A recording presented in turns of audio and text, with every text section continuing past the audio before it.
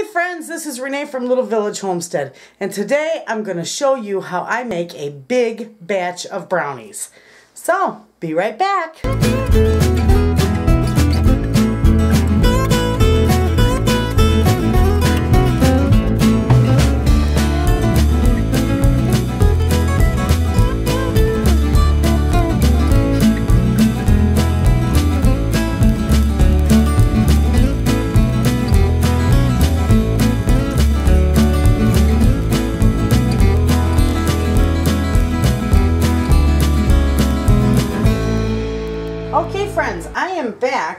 And we are going to make a huge batch of brownies. It'd be like a, a half sheet cake pan. So, the first thing, and I will list the ingredients in the bottom of the video, but the first thing is seven eggs. Yes, seven preferably large eggs. And room temperature. They work better room temperature. They blend better. So we're going to, I'm going to turn my mixer on and we're going to mix these eggs. We're just going to mix the heck right out of them.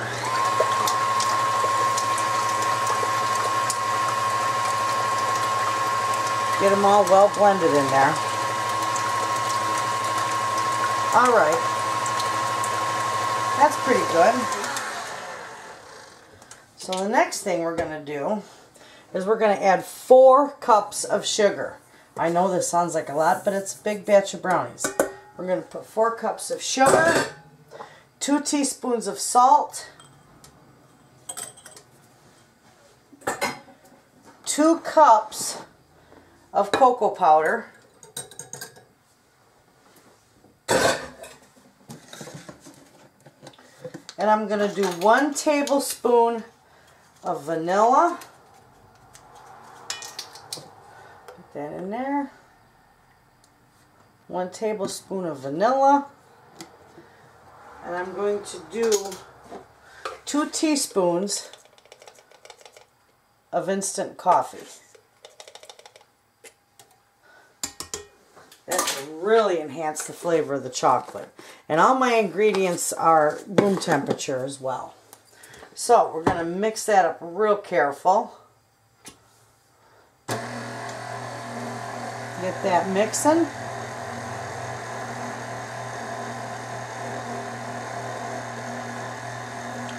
I'll let that mix and I'll be back. Okay, now while that's mixing, I've got one cup of melted and cooled butter. We're going to go ahead and dump that right in there. And we're going to,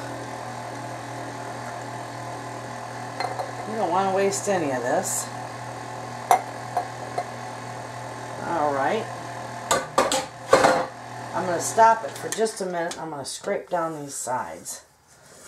I want everything in here mixed up really, really good. And the bottom. Don't forget the bottom. Get it all scraped down and my gosh, that's wonderful. Okay.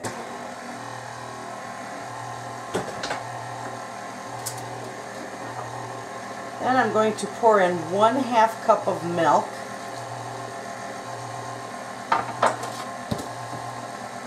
And I'm going to put my flour in, but I'm only going to put a little bit at a time in here, real slow.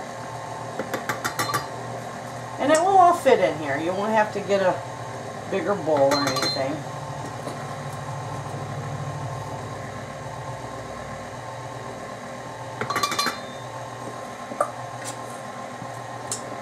You can certainly um, do a little bit of algebra and you can divide this in half and make a smaller batch or you can even make, you know, double it. But it is fantastic. And the reason why I'm making such a big batch is because my husband and all his um, friends at work, I tend to spoil them with goodies. And I give them a, one day a week I send in something, you know, yummy. And they love it. And they deserve it. They all work so hard. So, I'm going to lift this up a minute and scrape this down. Can't see too well. My arm's in the way and I'm sorry.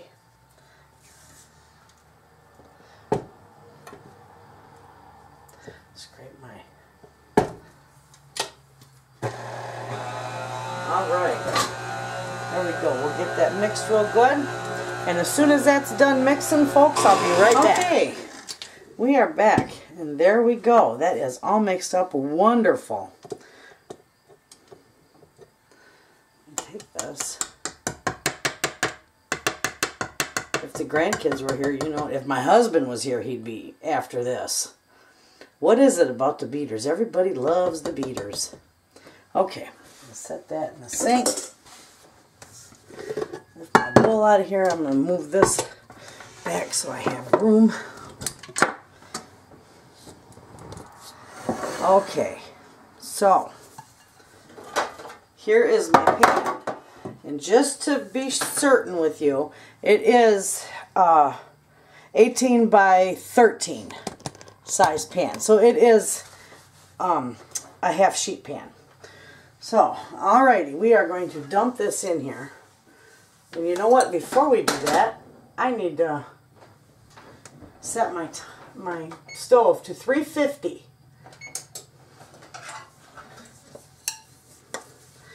It'll be ready to preheat in a minute. Okay, we're going to dump this right in here. And this is a greased pan.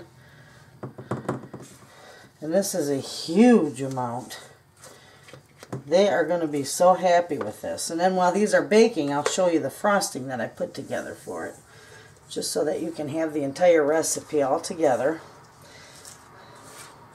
And you can you don't even have to frost them if you don't want. They're wonderful, even plain.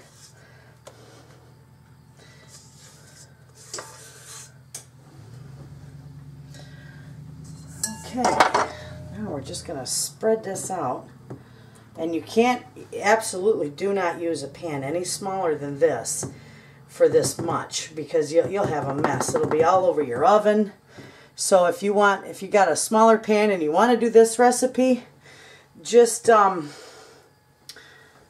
divide it down. And, you know, I can put it in there too. I can divide it down and put a recipe for a half sheet cake or a recipe for a quarter sheet cake both down below my movies. So I can do all that. All right, well, we got this all here. More in the corners here. And this batter is beautiful. All right. There we are. Now this, friends, is going to bake for 25 minutes in a 350 degree oven. And when it's done, we'll be back. Okay, friends, my oven is set at 350 and here it goes. I'm just going to put it right on my top rack about midway in my oven. Set my timer for 25 minutes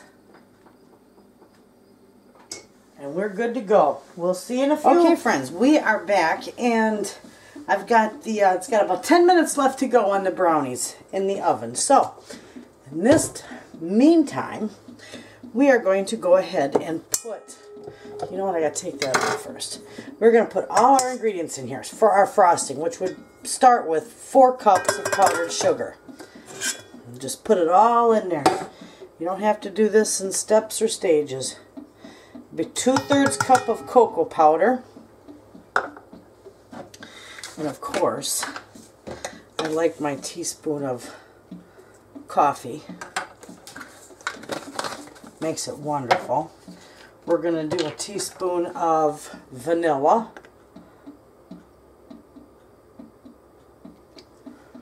Okay. We are going to do one cup of melted butter. And one half cup of milk. All right, now we're going to put our whisk mixer on here. I'm just going to start doing it real slow. Oh yeah, we'll help it to plug it in. I'm going to start it real slow so we don't have a white kitchen. You can see that in there. And I'm just going to mix this until it's nice and fluffy and the consistency that I want for my brownies. Okay, now hold off one second because I'm going to scrape those sides down.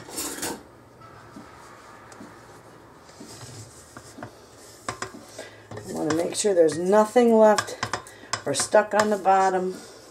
I want all that goodness in there. The beaters. Put back and here we go again.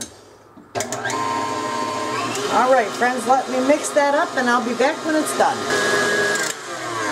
Okay, this is whipped up nice and fluff. Fluffed, fluffy. And you can see it. Nice, that would be perfect for my brownies. Spread on the top of my brownies. Wonderful, wonderful, wonderful. Okay, that's it. So when the brownies are done and I'm ready to frost them, I'll bring you back and show you. We'll be right back. Ooh, okay, friends, too. I am back. And this is nice and cool and ready to frost. So I'm just going to dump this right on the middle.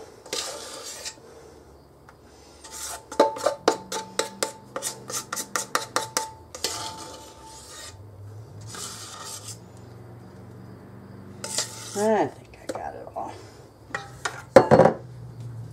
Okay, I am just going to spread it all around. Making sure I get all the edges. Oh, this is nice.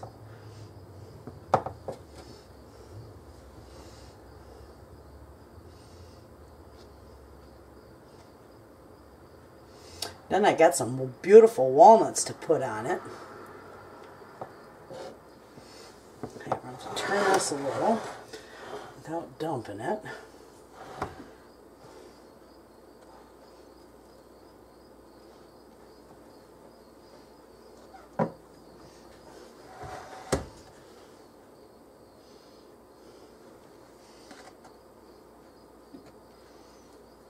All right. There. Mmm. That is good. Okay. Give it a little bit of a design in there. Oh my gosh. I gotta wash my hands. I was licking my fingers. That is finger licking good. Okay, let me dry my hands. And now I am going to sprinkle walnuts on it. And this is going to be beautiful. And the guys at my husband's work, I think they'll be happy tomorrow morning to have a nice fresh brownie and some coffee before they have to go about their day.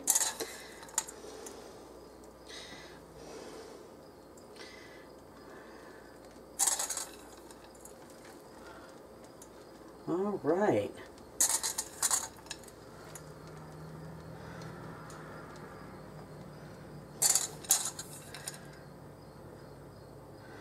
Now, I'm going to put this in the fridge and let that everything cool, or in I put it in my freezer and let it chill and uh, set up all that good mumbo jumbo and this will be wonderful. So there you have it friends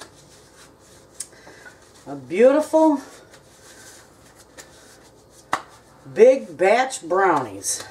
And you know what? We're going to try one. Or a little piece of one anyway. I'm just going to use this. And I'll cut a little sliver over here where you can see.